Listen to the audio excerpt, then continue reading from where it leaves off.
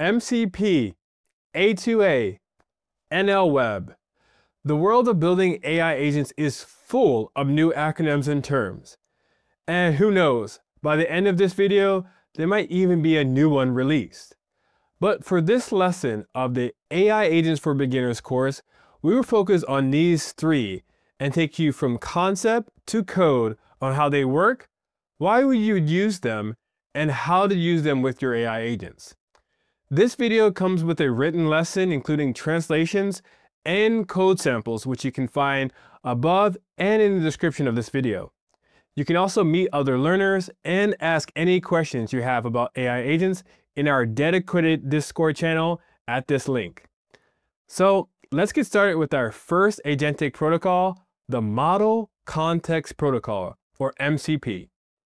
If this is not your first time hearing about MCP, you probably have heard it explained as a universal adapter, like USB-C for LLM applications, which are called hosts in the MCP architecture, where we can have one type of connector called clients to sorts of tools and data which are called servers. This is a great way to understand the benefits for users, but if you're building AI agents, which this course focuses on, you might be asking yourself, can I just use an API for this? That is a great question, especially since in this course, we also use APIs for tool calls. And while APIs are still being used when working with MCP servers, they have a unique benefits when working with AI agents. The first being tool discovery. This gives the ability for the agent to get a list of the capabilities of the server, which is important for the agent to know when to call it to help completing a user's task. The list is dynamic and can be changed when the server has any changes to its features. So you don't need to change endpoints in your code or look up documentation like you would with an API to enable the AI agent to understand how it works. The second is interoperability which means you can change the LLM as you would like, which is very important when we're talking about evaluating and bringing agents into production, because changing LLMs can bring better results. And lastly, standardized security, which allows for a standard way for authentication of our AI agents to connect to the service needed, which makes life as a developer of AI agents that much simpler. But now, let's actually look at all of these concepts through some code. Okay, great. So now we're here at this Jupyter Notebook. Uh, this Jupyter Notebook is using Semantic Kernel and Azure AI Foundry for the LLM. And we're also connecting to a MCP server called OpenBnB. Uh, this is an MCP server that will actually expose information uh, from Airbnb, the popular booking website. I do want to note that this isn't the official Airbnb MCP server. At the time of recording, there isn't one. Uh, and also a good note that, you know, when we're passing information that might be sensitive, it's always good to look for the official MCP server. But as we're just searching uh, over Airbnb, I believe this is a good MCP server to get started on and aligns with our travel use case we've used for uh, throughout this entire course. So just to kind of highlight some uh, key points in here. Uh, so well, the first thing we're going to do, obviously, we're going to pull in all of our environment variables, and we have a chapter for setup just to show you how to set all of those things up. But we'll start with the user input, which is actually what the user is actually going to request from our AI agent. And in this case, we want to find an Airbnb in Stockholm for two adults and one kid. So again, this is a very natural language way of searching. Um, so it's up to our AI agent to sort of map that to uh, the way that we can kind of search and uh, actually get this information from the OpenBnB MCP server. How we actually connect through semantic kernel as well as when we're building out AI agents versus uh, using an interface and adding an MCP server is we're going to use this uh, standard IO plugin. And essentially, I took this code from the GitHub repo of OpenBnB. Uh, most MCP servers will have this kind of copy and paste the code to establish the connection. Uh, but it gives us our search, uh, name, the description, which is, again is going to be useful for understanding for the AI agent how to connect there. Uh, and then they maybe some arguments, whether that is uh, authentication. And in this case, we're also doing things like ignore robots text because we're basically going through a website. Uh, and then we're going to actually define this as an Airbnb plugin. So meaning this will be a tool uh, that the agent recognizes that it will be able to use uh, when looking for Airbnb accommodations. So this is kind of a semantic kernel way of defining tools. And then we're also going to load those tools in um, to uh, allow the agent again to know what's available out there. Uh, and we're going to do, do some printing of this just to make it clean. And we know that all other things are sort of working out there. The next important part is then obviously defining an agent. So this is where we've been defining agents like in other examples here. Uh, we called it Airbnb agent. Uh, give it some instructions. We're actually going to give it some instructions on formatting as well. So just like a nice clean look because uh, again, we're going to get a lot of information from the MCP server and we want to show that to users. So it's kind of important uh, that they're able to interpret it or read it in some type of way. And then lastly, it's the plugin, right? The plugin that we define that connects to MCP server, which is this Airbnb plugin. We do some things around handling responses and function calls, which is just, again, uh, good for kind of printing in here in this learning environment to show that, you know, anything that's going on, uh, as well as any errors or exceptions that you might be handling. And then lastly, we're going to put this out into our table so you can see it nicely. As we connect to this MCP server, right, uh, we're going to start the connection. Uh, the plugin is going to be created and connected. So it's good that again, so we're starting that. We want to make sure that we're actually, the plugin is connected to the server. Uh, we know that these tools are loaded, uh, loaded and then we need to see the available functions. Again, this doesn't have to be exposed to the user at all, uh, but we're just doing this for uh, this course purposes. And this is the available function that we see. The agent is created with the Azure OpenAI, so that was that semantic kernel code. And then it's going to take in the request, which is find an Airbnb in Stockholm for two adults.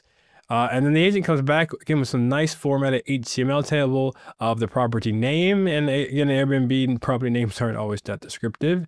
Um, and the price for five nights, because um, again, that's something that maybe we kind of want to add later on. The rating and review, again, that's where we pull in. And then the link. Uh, so these actually go into the directly into the actual Airbnb listings.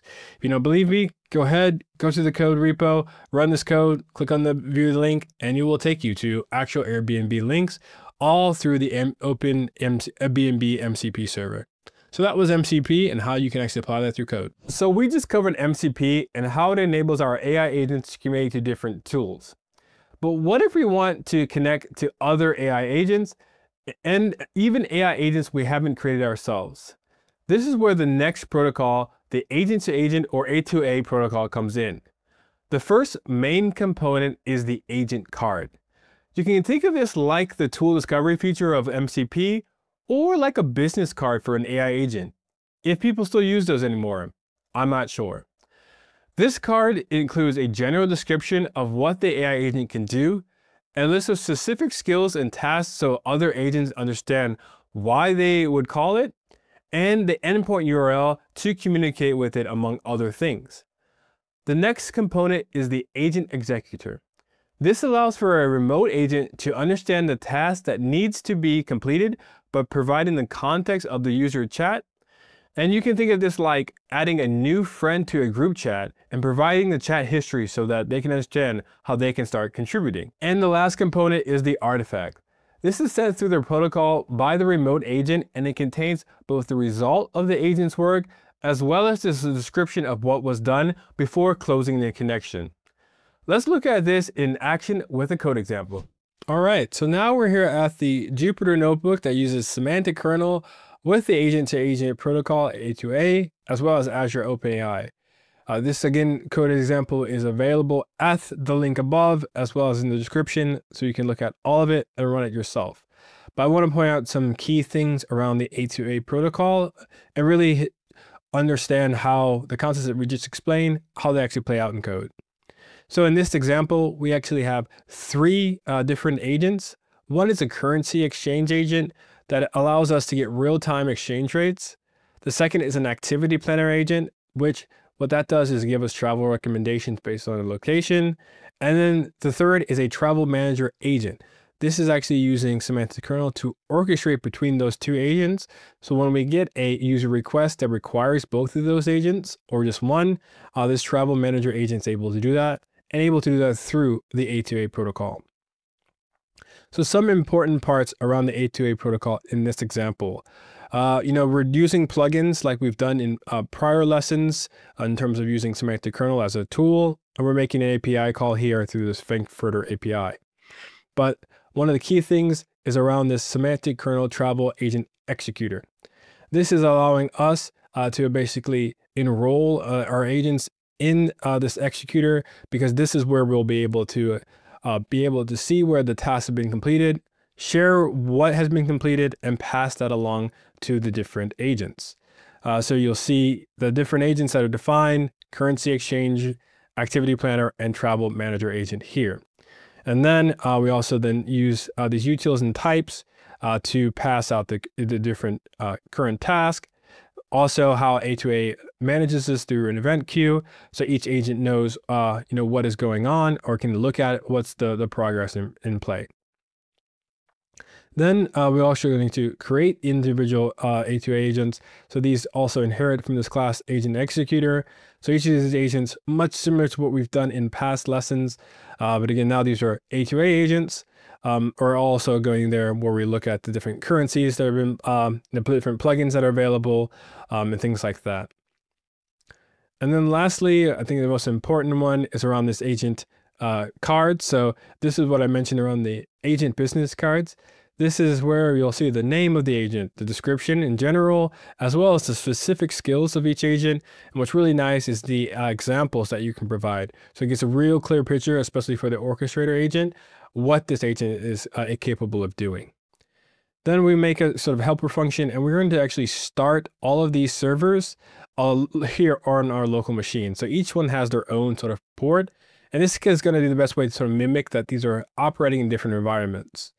Uh, so you should see uh, once you run this code, uh, basically different three different servers running, uh, different ports at least on your local machine. And this, this cell is also a really great place to see the communication between the agents and what's actually running from a troubleshoot perspective as well. If I scroll down from all of these logs, uh, and we will see that we've created this A2A client. And this is again kind of where we're making the connection or being able to interact with our A2A agents. And then we'll also do some testing of the individual agents just to make sure they're working along themselves before we actually go into uh, the, the last block, a last cell here, which is uh, using the, the uh, travel manager orchestrator. So this is going to uh, look at this uh, request, um, which is taking uh, basically a user asking around a, planning a trip to Tokyo, that they have 100 USD to exchange, and they want to know what activities they recommend while in Tokyo. So this is actually a multi-step task, and it requires multiple agents through using the A2A protocol. In this case, you will see that the task ID was created, uh, which is here. Uh, and then you'll be able to see uh, that now that when we see the user, that the travel manager response actually is taking from, uh, you know, basically inputs from each of these agents, the currency exchange rate, which is responded to, as well as a Tokyo two-day uh, recommendation. So that was the A2A protocol using semantic kernel and Azure OpenAI through code. The last protocol we're covering is Natural Language Web or NLWeb. This protocol unlocks the information and content of websites by creating a natural language interface to interact with. This goes beyond just a standard search feature of a website because now users or AI agents can interact with the content of a site through chat. This is done through three main concepts. First, through our old friend, which we talked about earlier, MCP. Through NLWeb, a website is also an MCP server, and you can use tools like an ask method to provide information to an AI agent. If you have ever implemented RAG before, you'll be familiar with the other two components. The first is embedding models, which takes the website content and converts them to vectors, which are numerical representations of the content. And we do this because it's easier to find similarities between the content and question. And the last one is a vector database, which stores those vectors, which is where the answers are retrieved. Being a protocol, NLWeb works with multiple different vector storage solutions like Azure AI Search and Elasticsearch. The protocol itself sets up the rules and formatting so responses are sent back in JSON format. This also makes it great for our AI agents to read this information. And in the written lesson, we have a link to the main repo so you can get a hands-on experience with NLWeb, as well as how it fits with our travel use case. But this ends our trip around the world of agentic protocols. If you have any questions and want to meet other learners and attend workshops, join our dedicated Discord channel here and see you there and in the next lesson of AI Agents for Beginners.